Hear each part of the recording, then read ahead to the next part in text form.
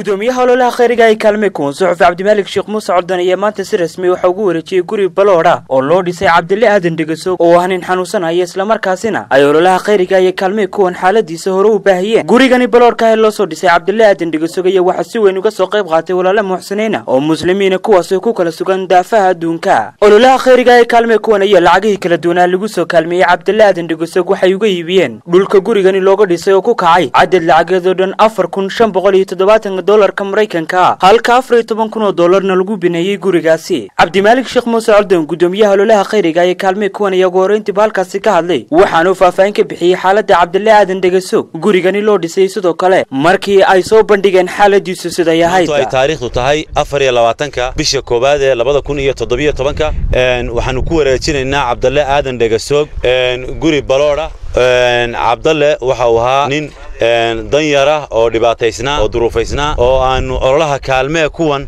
ku soo bandhignay kadib markii xaalkiisa la arkayna walaalo muxsiniina oo soomaaliya oo daclada caalamka jooga ayaa ku soo deeqay lacaga duwan. Lacagahaas waxay ka yimaadeen gudaha iyo debadda waxyaabihii aan go'aansanay waxaa ka mid ahaa inaannu cabdalle guri u dhisno. Isla markaana dhaqaalaha uu leeyahay caafimaadkiisa ku daryeelo qoyska iyo isagana yani waxay helaan lagu daryeelo. Maanta cabdalle sidaan sheegay waxaanu ku wareejinaynaa gurigan baloodhka ee ku yaalla xaafadda hodan qaylo koonaheeda. Cabdalle keligii gurigan ma manaafacsan doono.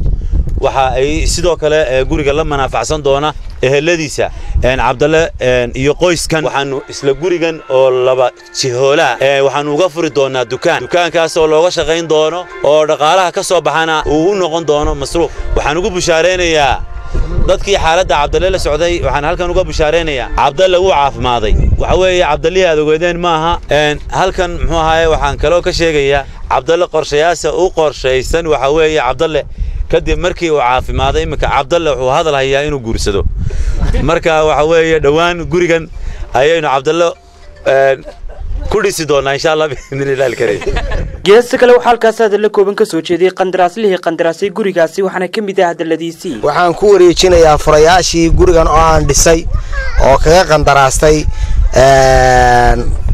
qolada kaalmee kuwan.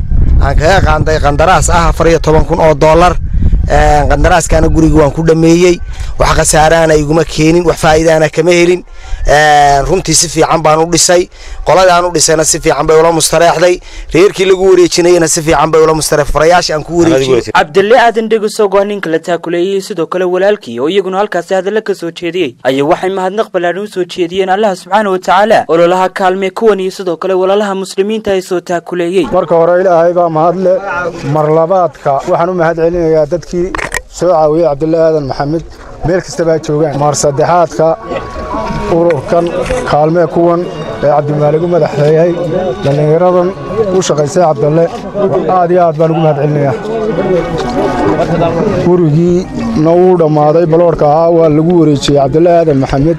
Si wanaagsan ayay ugu dhammaaday aad iyo aad ayaa looga shaqeeyey si wacan gurigii noo dhammaaye si wacan baa lagu wareejiyay furayaashiisun baa lala siinaya mahadnaqaynaa barakaa la idin geliyey waan ku faraxsan aad iyo aad aad iyo aad baan la ucanay wallah. Waxaad ka warataa cabdalle waxaa la yidhi waad guursanaysa maxaa ka jira waa dhab haddii dee ilaahay inagu waafaqiyo waa dhab waa guursanaya ma diyaarisay gabadhii haa haa isku sawad xooriya ololaha khayriga ee kaalmey kuwani hogaamiye suxufi cabdimaalik sheekh muuse coldoon ayaa hololay inta badan ka qayb qaatay taakulaynta dadka danyartaha waa khaalid bakayle fogaana ragga xorta star t v. Burco